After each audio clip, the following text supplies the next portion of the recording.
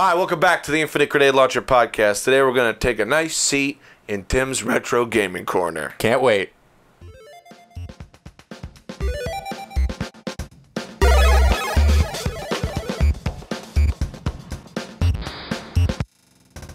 Hey, everybody, welcome back to the IGL podcast. I'm your host, Justin Gentile. And I am also your host, Timothy McGorry.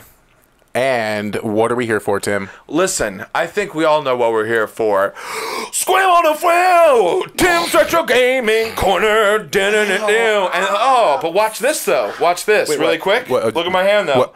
Oh, Don't touch it! That cost $50,000. Uh, it's all in post, baby. That your donations are paying off though folks keep sending us those donations you could see we're putting it right back into our production enough of Justin's mouth. It's time for no. I'm just kidding. It's um. This is uh. I brought up these games, the games that I'm going to be reviewing today. I brought them up in one of our earlier podcasts. You can go back and check it out. Uh, might have been the first one, I believe, where we talked about our different gaming histories. I mentioned what my favorite games were. Uh, that perfect crustacean of nostalgic. And since it's been about like over 20 years, I feel like that that falls into the retro gaming category. So uh, it's been 20 up- years since our first First episode game. yeah. I think Oh, it's been since 20 the first episode it's been 20 Time years is an illusion. guys Lunchtime, doubly so. thanks for supporting us for 20 years The um the first game we're going to talk about is King's Quest 6 Heir today, gone tomorrow. A pattern will emerge as we keep talking about these games, but it's a point and click adventure and you start the game uh, tasked with the charge of going to uh, meet your princess and then you wake up there's a terrible ship storm.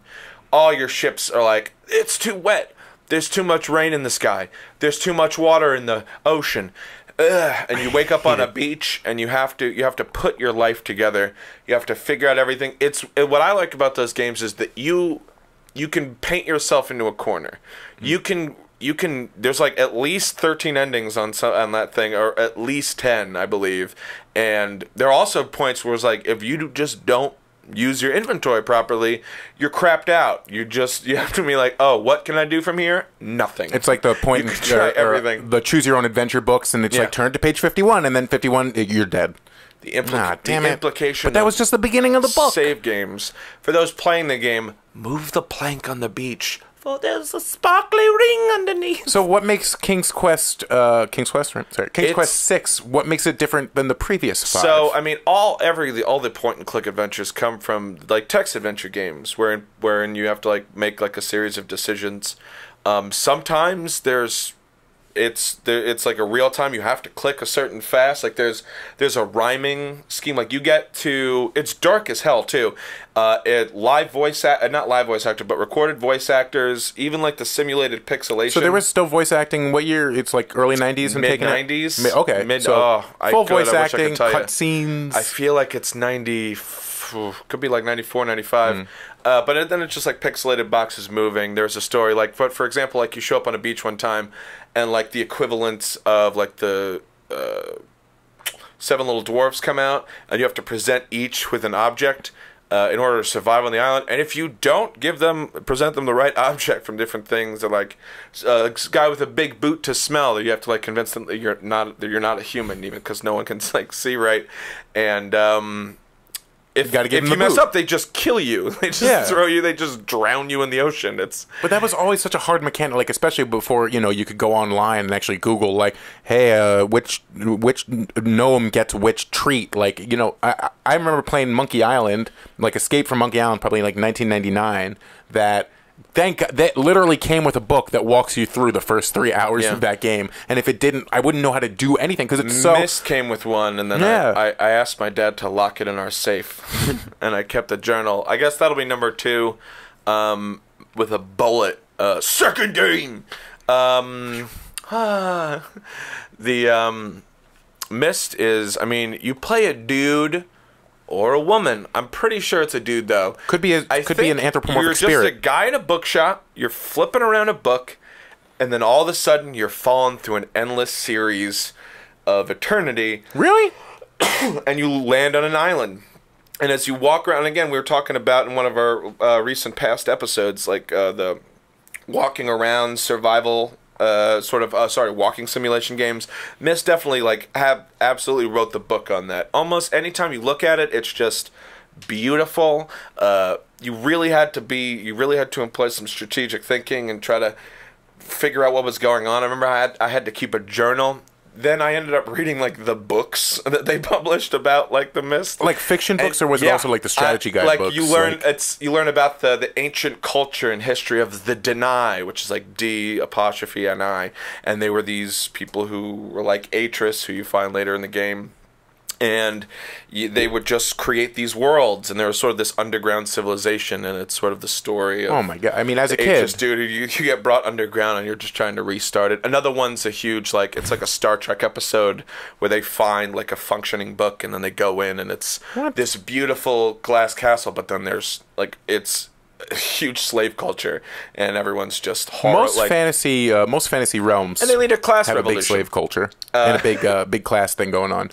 But um, beyond that, it's just a really fun game that it proves that you, you don't need, you never needed to like kill anyone in a game. It's just so deep too. Like as a kid, I didn't. I thought it was just a monument simulator. I thought I thought you're just supposed to like walk up to it and like, hey, that's that, and now I could walk around. Because like that's even if that was all the game was at that point, it was still such a graphical achievement that it would- blew minds and hearts. The hardest you know? thing I've ever done up in, in gaming up to that point was there's a sequence when you're in like just this spaceship rocket looking thing that's off to the side and you have to like find a like the right notes to put in like sort of this song that you have to Getting sing musical, to just get you yeah. through. It's ridiculous. Yeah, and how it's a and, nightmare I don't and know how then, people had the um, patience for this back in the but day. it's honestly. fun yeah I like a challenge it's Because like now you know, I get stuck in a game and I go on a YouTube Let's Play or possibly one of our YouTube streams. I don't know why I would have to know how to beat that level again, but you could watch one of ours. Say you were having trouble in a game and you want to see how to get past that level in uh, Turtles uh, in Mutants in Manhattan.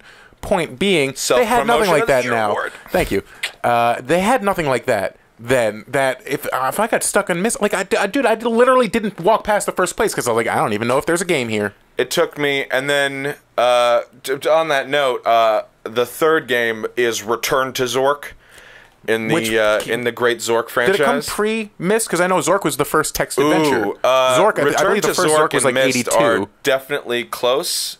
Return to Zork is again is like a very early '90s, early mid '90s game uh, where you you wake up on a path. There's a crow. Uh, You're always just waking up in these adventure games. You're just there. Uh, it's sort of a continuation. Every day you wake up is an adventure, folks. because they try to do like a pixelated like video of like the uh, visualization of what happens like you are standing outside of a white house to like the west there's a path and then they show you the house and then you go in and all of a sudden you're at this canyon you have a wizard in a glass that comes up to tells you what to do there's a lighthouse there's a direction uh, that was like certain doom if you go that way you gotta like fucking figure out what's going on with the lighthouse guy. And then in the back i think he gives you a knife or you might start with a knife. And you have to take the leaves off and you have to put the wood and tie the use the wood on the leaves so you can tie a raft so you can go to the creepiest fucking town that's ever existed ever. There's just a guy there's like a creepy old schoolhouse lady. There's an old guy who just wants to drink uh, rye whiskey with you until you die.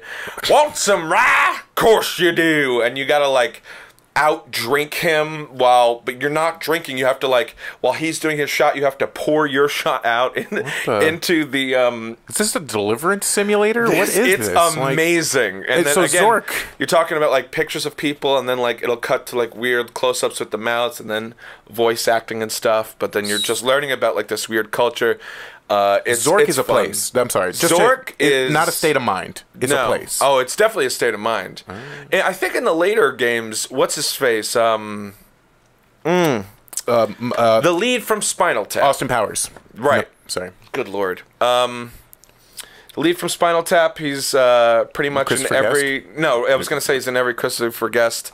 Michael. Uh, Madsen. No, It's not Martin Mike- Mull. Oh my gosh. Martin We're losing all our comp. No, not Martin Mull, but I know you're talking about. No, I know. He's got the face. anyway, he does like uh, he plays like your uh, wizard in like a later game in like the later '90s or like early aughts, and he there's like a whole Zork game where he's like sort of your Damn. compendium. Where's the Where's Like the new when, uh, Zork? Where's Zork VR? Like when uh, like when Eric Idle is in all those uh, Discworld games. Oh, Discworld's pretty cool because you know it, it- turtles on top of turtles. You know that's life. Rincewind. Wow. And the numbers we should never mention. we are getting nerdy, folks. So if you want to hear more nerdy stuff, make sure you check us out on HollywoodRedux.com. Hey, or our segue in. YouTube page. And also, don't forget to check out other podcasts on our network K Files, Writer's Room. There's a link over here, probably. There's a man to my You can right. check out our page too. We got some old trailers, some cool. Uh, if you want to see, uh, listen to some old movie scores. There's a lot of fun stuff you can do on HollywoodRedux.com. So make sure you subscribe below. Make sure you watch our videos over here or over there. I'm Justin Gentile, Justin underscore Gentile on Twitter. I'm Timothy McGorry. You could tweet at more. McGorry's Quest. You could tweet more, I could tweet more. so I just had to get that in there. You could tweet more. I could tweet more. Thanks for watching, folks. Make sure you check us out below. Like, subscribe. Thank you very much for watching. See you next time. Hey, I did a Letterman.